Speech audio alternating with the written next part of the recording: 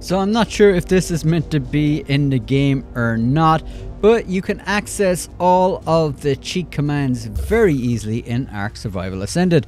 I stumbled across this while live streaming when I accidentally pressed both of the L3 and R3 buttons down on the controller and I was instantly greeted with a host of images which I later discovered was me spawning in a dino. So if you want to do that you could do what I just did there which is press the two trigger buttons on controller or if you have a keyboard you can just press shift and period and that will get you into the menu. This is a huge step up from the admin commands you had to manually type in and as you can see you can not only choose easily the dinosaur that you want to spawn in tame, you can spawn in either male or female and input the level you want to spawn in at.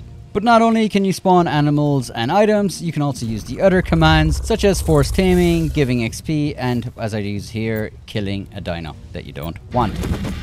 This is a real quality of life to administrators for servers as you can just spawn in any item you like such as dyes without the need to have to type in all that lengthy text to just get some items. While you're scrolling through, you will notice that there is items and dinos from other maps such as Scorched Earth, Aberration, and the Extinction maps. You can spawn in some of the dinos such as the Wyvern here. It does kind of look a bit rough from what I can see, and it is worth noting that not all items can be spawned in. I was, for example, trying to spawn in cryopods so I could get these dinos that glitched into this rock out um, because I couldn't figure another way to get them out and unfortunately I couldn't spawn in any tech gear.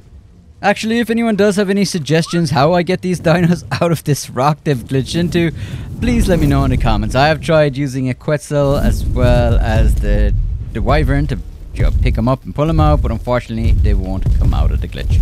And that's it. I'm not sure if this is meant to be as easily accessible in the game so far. Might be a little bit of an oversight on their behalf, but we will have to wait and see. But if you want to mess around with some creative mode or just building and spawning in new dinos, well, there you go. If you find this video helpful, please leave me a like and a comment. That will help me out. And massive thanks to all the members. You guys are awesome. Alright, people.